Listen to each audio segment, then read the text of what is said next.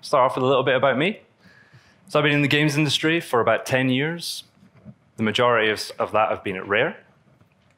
I'm an audio programming specialist, which might seem a bit weird for a performance talk. But audio being one of those real-time systems, you have to, have to be on the game for performance. I'm a member of the engine team at Rare. Now, the engine team's full of loads of specialists. We've got networking, we've got physics, we've got all the, the core specialties in our engine team. But we muck in everywhere. And we are currently working on Sea of Thieves, which is an ever-evolving title. Uh, we've been going for a little over a year now. We've got our next big update coming soon, and got a little trailer to show you.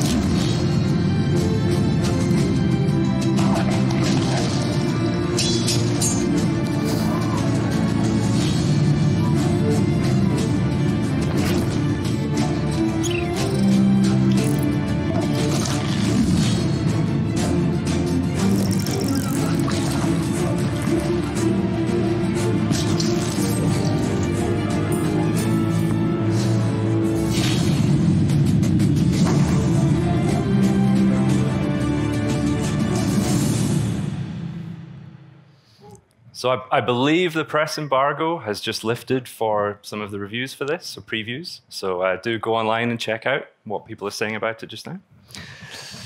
So what am I going to cover today? I'm going to cover how we kept a consistent frame rate in Sea of Thieves. It's, uh, it's a challenging environment to do so. Um, I'm going to do that with lots of profiling data. There's going to be lots of profiling data in this presentation um, through different, different methods. Then I'm going to cover engineering techniques that we used to gracefully scale our game systems. We've got a lot of stuff going on in Sea of Thieves, and we want to make sure that the quality is delivered. And I'm going to go into plenty of technical detail.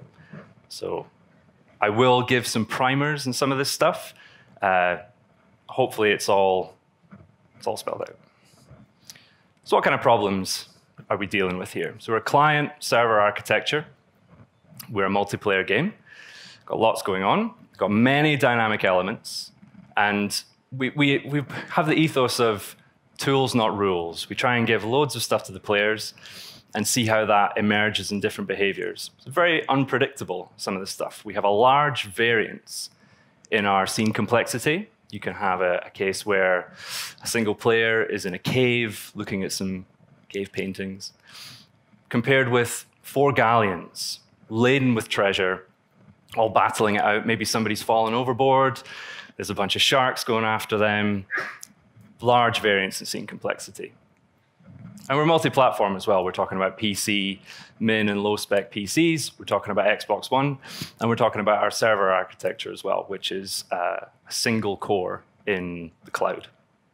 And we be began development of Sea of Thieves on Unreal Engine 4.6, which feels like an age ago, um, and we actually shipped on 4.10. So we're missing a lot of the optimizations and a lot of the improvements that came in, especially now we're talking 4.22, 22. I'm going to talk about our ticking and how we worked with ticks. But I'll give a quick primer on what is a tick in case some people at an Unreal Developer Conference don't know what a tick is. Um, we're essentially talking about a virtual function call, either in native code or in blueprint code. And this is housed inside a tick function structure, which controls what group you're ticking in, if you want to tick asynchronously or not, the frequency of your tick, and any dependencies that your tick might have. We also have a stage at the start of the frame where the engine decides what ticks are going to happen this frame. And part of the reason that we investigated this early on was that we were spending more than five milliseconds at the start of our frame. We're trying to hit 30 frames per second on Xbox One. More than five milliseconds spent just deciding what to tick. That's over 15% of our frame budget. There's a little pix capture there. We use pix quite a lot. We use uh, some of Unreal's tools as well. We use Pix quite a lot. But when we're testing performance, we approached it in the same way that we cover a lot of our other testing. Specifically for testing, the worst case is what matters. It doesn't matter if your average is really good if when you hit the worst, your game basically falls apart. We used a lot of automated testing to track when someone makes a change, how does that reflect in not just behavioral, but in terms of performance as well. So we have, just can't really see it on the slide very well, but this is one of our test maps that we have, where it's simulating that four galleon, almost worst case. Our, our worst case is really bad, this is almost worst case. Galleons firing each other. And through our automated systems, we'll get this report from our build system that we can go and look at and trace as people make changes. How does that affect the performance ongoing? I highly recommend you check out Jessica Baker's talk later today at 4.15 on our automated testing process and pipeline and culture, and it's really good. So how do we analyze this data? Like I say, we have a TeamCity report. TeamCity is our, our online build system. We get a report out of that. And like I said before, we also use Pix for uh, the CPU and GPU captures on Xbox One. There'll be a lot of Pix captures in this presentation. We also use WPA occasionally to uh, uh, track larger scale playtests. But we'll also use Unreal stat files as well. These are really good. You get the same kind of data out of the stat file as we do in Pix, just aggregated over a lot of time. We, this is particularly useful for our server performance captures. And occasionally we use the in-game stat visualizations, but these typically are more for memory uh, profiling rather than CPU profiling. But in this presentation, I'm only really going to talk about uh, these two here. So for those of you who haven't seen Pix, Pix is freely available for you to look, look at on PC. But uh, here's a frame capture from Sea of Thieves in our performance test map that I just showed you. And I'm just going to talk you through a little bit about what this means. Uh, probably very similar data to what the new Unreal Insights stuff looks like. That looks really cool. I'm quite excited about that. Um, this is what we've been using for a long time. So if I start annotating this, we've got our begin frame here and our end frame there. We have the game thread across the top on core zero. We then have the rendering thread here and the RHI thread here. I'm not really going to talk about any of the rendering stuff. I just wanted to put it in there for completeness. It was a big body of, of stats in this capture. So we now have, here's the pre-physics tick group. We have the during physics tick group. You can see on the other cores, there's the physics running asynchronously. Then we have our end physics tick group, the post physics, and the post update work. We don't really do much in the post update work. But what's also interesting to call out is in the post physics, here's some animation that we're doing. When animation runs, it runs asynchronously, where you can choose to run asynchronously. But that will also, anything you do in a tick group, like the animation here, will hold up that tick group until the next one can run. So this frame was 43 milliseconds pretty poor, really. Not quite our 33 milliseconds for our 30 frames per second budget, but Sea of Thieves is an ever evolving game. We're always adding more content, so we have to keep working at, at making sure our performance is, is critical. But we were a lot worse. Back in 2016, we were looking at 113 millisecond frame times, totally unplayable on Xbox. We were game thread bound, which might surprise some people. Uh, we had a lot of stuff going on. And there wasn't really one big thing to tackle. We couldn't look at one thing and then go, boom, we fixed it, fixed our performance. That's partly because the way that we developed our systems is they were designed in isolation. So a sail is a sail, this is a wheel, this is a cannon. And as they grew, they just got more and more costly. And we couldn't apply sweeping optimizations to these things. We could do micro optimizations, but ultimately it was very difficult to control our worst case frames. And in 2016, we'd written a lot of our core mechanics, our core systems for Sea of Thieves. So going back to the drawing board wasn't really an option. This is data I got out of a sampling capture during a playtest. And as you can see, hopefully you can see, the majority of time, nearly 50% of our whole CPU time on core one, core zero, sorry, the game core, was spent on ticking things. Some of the other time was spent in physics and in our networking, but we soon discovered that that's because our frame times were so bad that the physics was having to work harder and the networking was receiving more data from the server in a single frame, so it had a lot more to process. Which meant, really, we should be focusing on looking at our ticks. What do we do with our ticks? Before I go into ticking, I want to give a little primer on CPU caches. Specifically, this is on the Xbox One. So the Xbox One has two CPU modules, each with four cores. I'm just going to show one of the modules here. So we've got our four cores here, and we have our main memory here. But you can't really use main memory directly from your CPU. Whatever you're doing on your CPU, it either has to be in your instruction cache or your data cache. And these are both 32 kilobytes in size. These are your, your L1 caches. But you can't go from main memory directly into your L1 cache either. You have to go through your L2 cache, which is shared between four cores. Each module has its own L2 cache. So you go in from main memory into your L2 cache, and then either into your instruction cache or your data cache. If you then mutate stuff in your data cache, it needs to read it back out to your L2 and then back out into your main memory. This is a problem for us because doing so, you have to do it on all the cores, they all share the L2 cache. And you're talking about quite high amounts of latency between accessing these, these uh, sections of memory. It's a hierarchy. So if something's in L1, it must be in L2 as well. So to give a, a bit more of a context about this, consider these two bits of disassembly where we are moving some memory. We're moving an integer out of RCX an offset into RCX moving an integer into a register, and then we're adding those, adding that integer to another integer. So if we consider where that could have been in memory, I'm going to borrow a diagram from Mike Acton, his data-oriented design in C++ talk. I don't mean to plagiarize, but it's a really good talk, and the diagram is excellent at showcasing what this looks like. So if the data is in L1, it's really quick.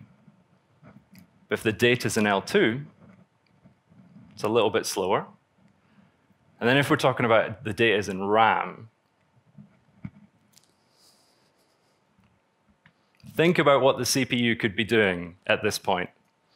And if your CPU is out of order execution, it might be able to do some stuff, but you can't guarantee there'll be enough instructions in its pipe to, to reorder some stuff. If it's in order, you're guaranteed to be waiting that long before you can do your next instruction. Now, that's important with data. We're doing a data access here.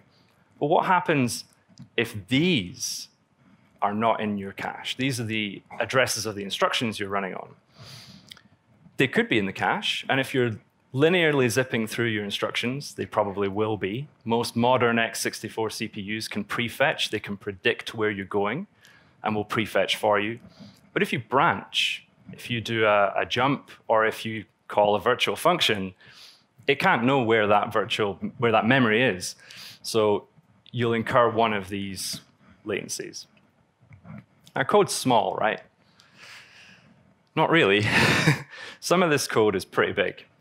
Um, I did a, a, little bit of a, hopefully you can read some of that, a little bit of working out how big some of these functions are. I've got some of our own functions from Sea of Thieves and some functions from Unreal. And this is as a percentage of your L1 cache. So doing a tick, just the exclusive size of the tick function for uCharacter movement component is over 12% of your L1 cache. That's not the callers and the callees. That's just the function. I did start looking through the, the hierarchy, the call hierarchy, but I stopped at around about 30, nearly 35% of your L1 cache. It's quite, quite a lot of code that you go through. And we've obviously added a lot on top with our game code on top of Unreal Engine's code.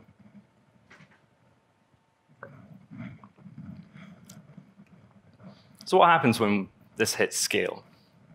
Here's what our individual ticks look like. We've got our timeline.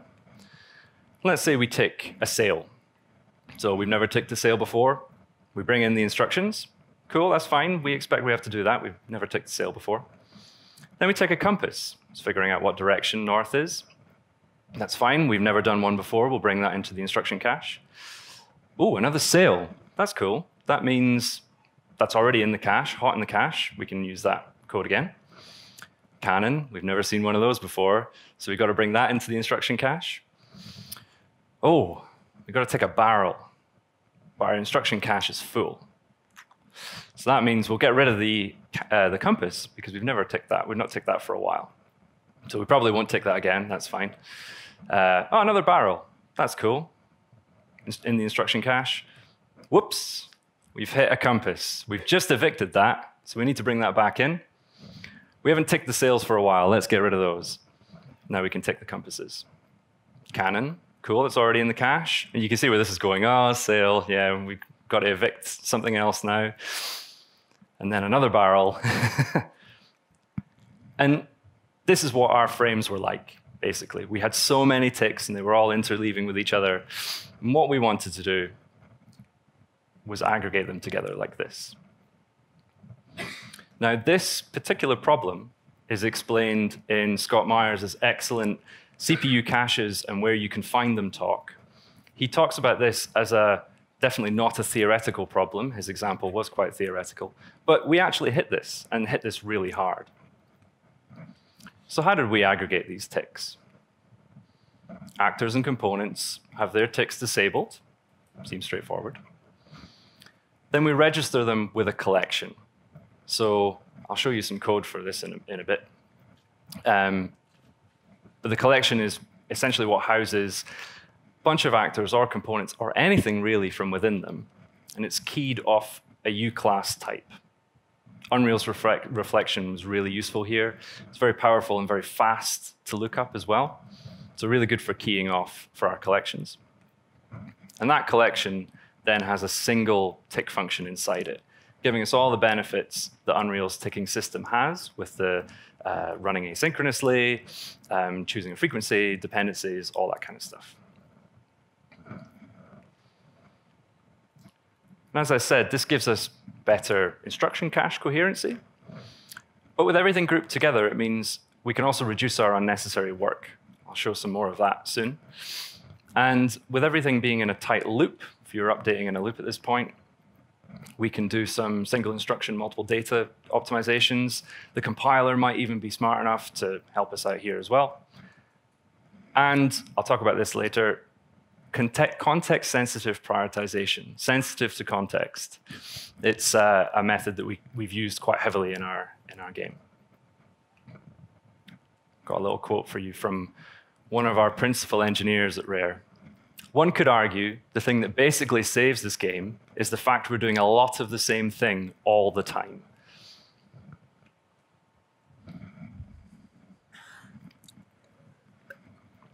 So I'm going to go through say almost real world example. I've had to edit it a little bit for the slides, but it's basically a problem that we've had to solve in the game. So as you can imagine, Sea of Thieves, a lot of water.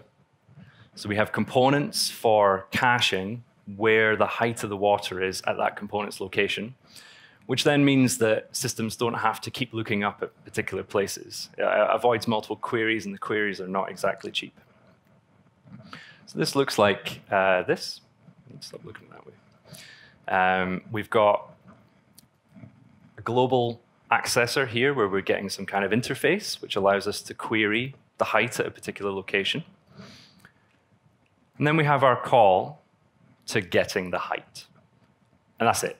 We cache the height afterwards. Not very much going on. Not really very much to actually optimize either. Maybe we don't need to optimize it. Maybe we do what does this look like in our frame? So tested this out with 100 components in our four ship scene. And here's where the ticks land in the frame. We're quite lucky here. Some of them were quite tightly grouped together, but they're not all in a straight line. So there have been some interruptions going on. And this took 1.16 milliseconds. You might think that's all right for 100 components, but we've had tweets of people with 100 treasure chests on their ship. As soon as that sinks, that's 100 items on top of all the other items in the island, in the uh, water. So it's not inconceivable to think of maybe 100, 200, 1,000 maybe. Considering that's just water height, you could, you could do a lot in 1.16 milliseconds. So what does it look like when it's aggregated? We've got our aggregation, this is the, the function that gets called in place of all our individual ticks, where we have our array of components we've collected, and we're calling the tick functions manually. Not really anything special.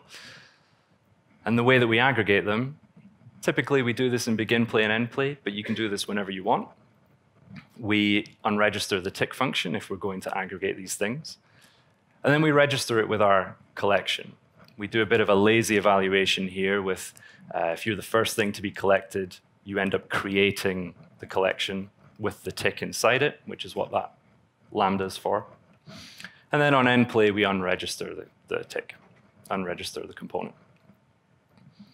So what does that do? That's a reasonably simple change. We haven't changed any logic yet for our, our tick. What does this look like? Same 100 components. It's now tightly packed inside our frame. But what has that done to the time? We've already had a 1.3 times improvement. Massive, yeah. But we could do better than that. So I talked about identifying unnecessary work. This is a, a zoom in of that aggregated tick. We've got our getting the, the global service. And we've also got our query. And then we've got it again, and then again, and again. And you'll notice that the very first one in that tick, in that group, is huge compared to all the subsequent ones. And that's the benefit of the, uh, well, probably the benefit of the instruction cache. The first one is long because we've had to wait for the instructions to come in, and then we're hot in the cache now, so everything's much faster. But how can we now logically change this to improve the speed? So we've got our tick, and that's the component tick internally. Let's just get rid of all that. And now we have a more optimized tick. We've got rid of the component tick altogether.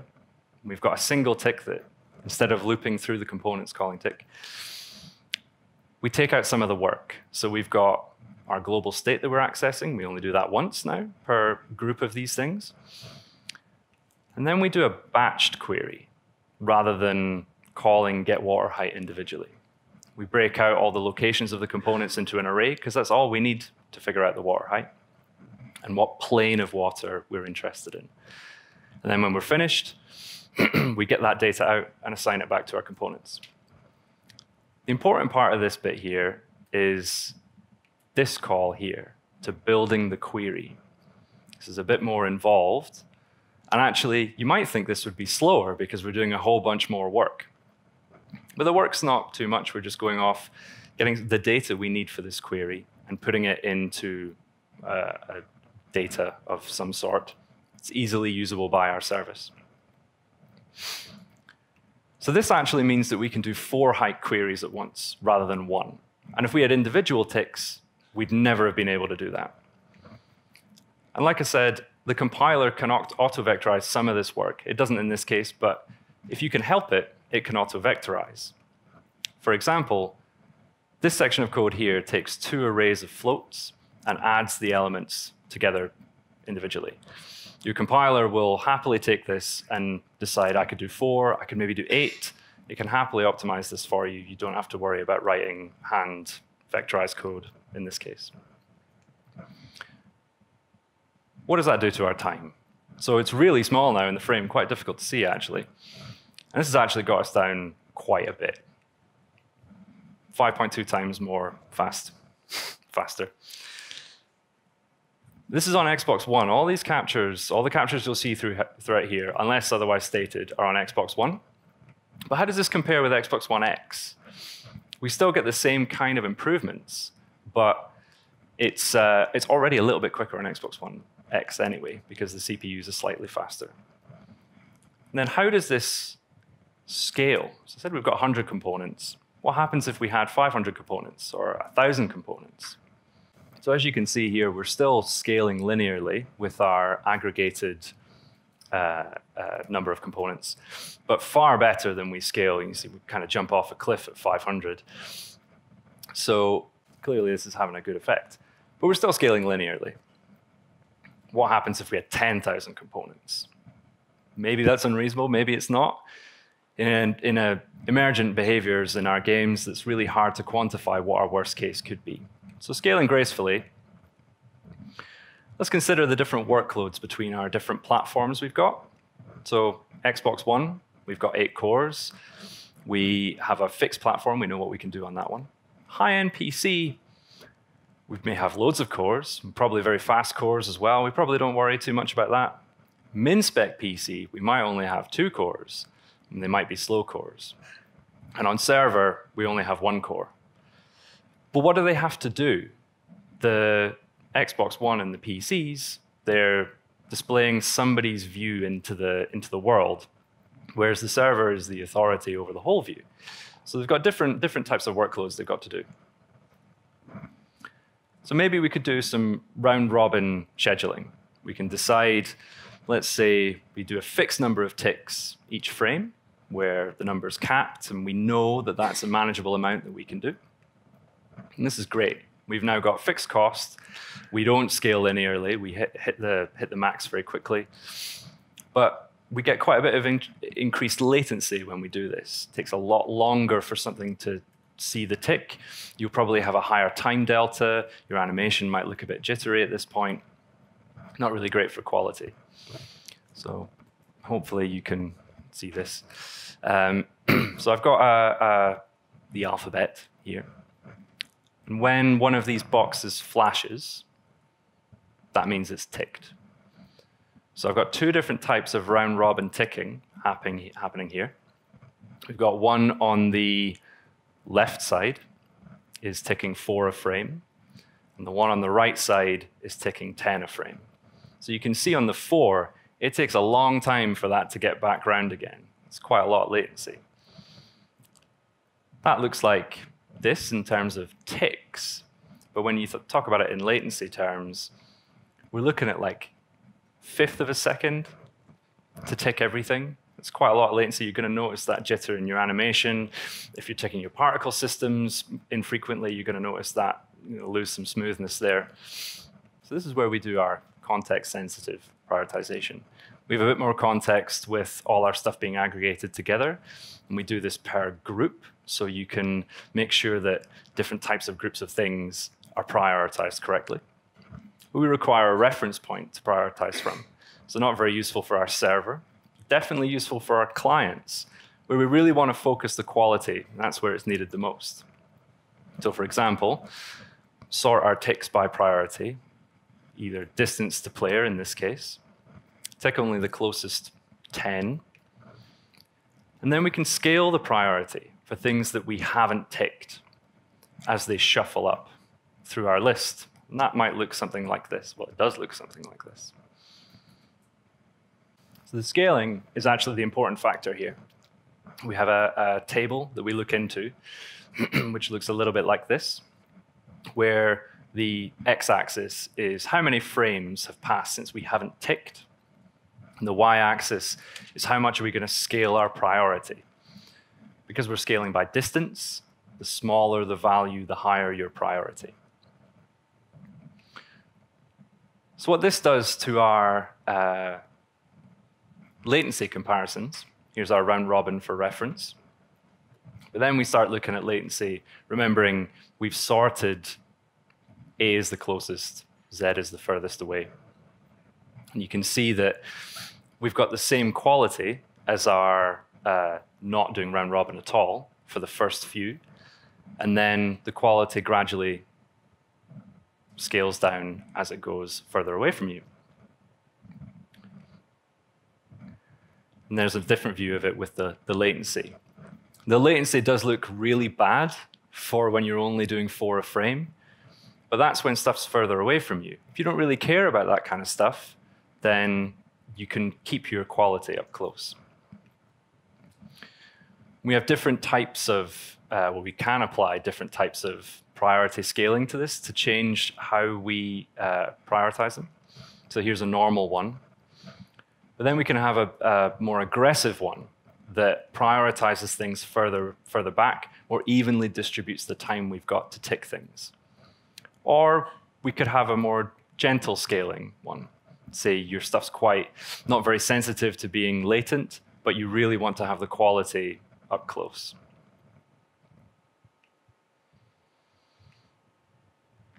And for comparison, you can see the latency here. Uh, the gentle table throwing a lot of latency out for far away, but up close, you've got quite a good uh, quality bar there. And this is with ticking 10 a frame. If we only tick 4 a frame, for comparison, we have the, the round robin in the graph as well. You've still got a lot of quality up to the closeness of, your, of the things that you're ticking. Far away, obviously, we, we lose some there. For this presentation, I used the algorithmvisualizer.org, which is fantastic. I highly recommend checking it out. You can write your code in the browser and then visualize it in the browser. That's where I captured these videos from. It's really cool. So I've talked about a real world, almost real world example. Now I'm going to cover a real world, a few real world examples. So we've aggregated our sail updates. This was a, the, one of the first ones we did in our game. And uh, it's because we have a lot of them. We've got seven sails per galleon. We've got quite a few galleons on the seas. So it's a good, it's a good test case for us, the first one we did. And they have a lot of responsibilities. They calculate the billowing based on the wind direction and the wind speed. They update the animations based on that billowing. And they set some dynamic materials. So lots of different things to test out for us. Now, the cost of this before we aggregated them, a gratuitous animation there. Uh, these are all the tick functions that the sails, I think this was 42 sails had. And that includes your skeletal mesh animations, the actor ticks, and some other components inside there. And this came to a total of 1.539 milliseconds, which we thought was actually unreasonable for our sails. We could do a lot more other stuff in that time. So when we looked at this, showing here a, a Unreal stat capture in the Unreal Profiler.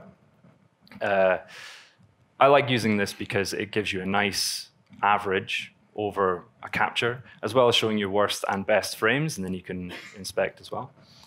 So from the sails average case, we're talking half a millisecond at this point, over two and a half times improvement.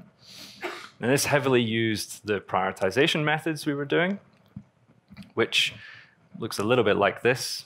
We have 42 sails in the scene, but I'm not going to ask you to count them, but we don't have 42 animation updates here. And with the way that we aggregated them, it also allowed us to do some work on different cores. So we have a case here where some work is happening on one thread, and then some dependent work can immediately kick off on another thread after we know we've finished a few of the uh, updates. Same with the animation here. Another system that we looked at was the particle systems. We were quite a particle-heavy game, and uh, as you can see, the 20 milliseconds we were spending on our particles is quite excessive. Uh, but simply aggregating them not changing any logic whatsoever, simply aggregating them gave us that kind of improvement. And it also improved us at the start of our frame as well. We went from 786 ticks down to one. We got a 25% saving at the start of our frame, which looks a little bit like that.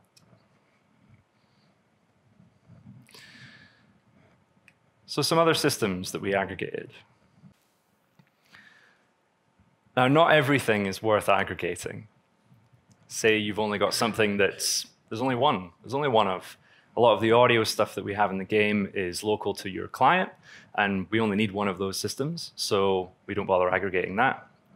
And in some cases, we found with things that have dependencies, you might want to pull some stuff out of an aggregate tick, put it on its own so it can have its own dependency. So some time to reflect. What kind of flaws does this system have? The tick registration is a very manual process. Either you forget to do it or you do it incorrectly. You can cause problems. So it's not great. And by problems, we've occasionally had cases where while an actor is ticking inside an aggregate tick, it then calls destroy on itself, deleting itself, and then we continue ticking, but it's removed itself from the array, resized the array, and then we crash. So there's ways that you can get around that, but if you don't know that could happen, that's something you have to be careful of. We also found that because it's an opt-in, very manual process, doesn't really force you to think differently about your data or your systems that you're working on. So we end up still writing systems as uh, individuals rather than thinking of them as a batch. And I hinted on this before, you can't have explicit dependencies between individual things within an aggregated tick. But if you want that, if you need it, you can take it out of the tick. You still benefit everything else is in that aggregate. You can take it out and have it on its own. So some future work. Maybe we just address all these flaws. But realistically, aggregating by default is probably going to give us the biggest bang for buck. But also, I talked a lot about instruction cache and not a sausage about data cache. So data cache is probably a really good one where we can we can go into. But maybe you could help us, or one of you could help us, two of you could help us, because Rare is hiring. Rare is a wonderful place to work. I really, I've been working there for six years. I love the place. It's a fantastic place, uh, out in the English countryside. Really beautiful landscapes and lots of dogs. If you like dogs, you can bring your dog to work. Uh, and I have to show this guy. I'm doing a thing with some friends where we have to take this guy around and show him a good time. So uh, we've taken him around Prague, me and my fiance, and uh, I wanted to show him here for you all. Thank you very much.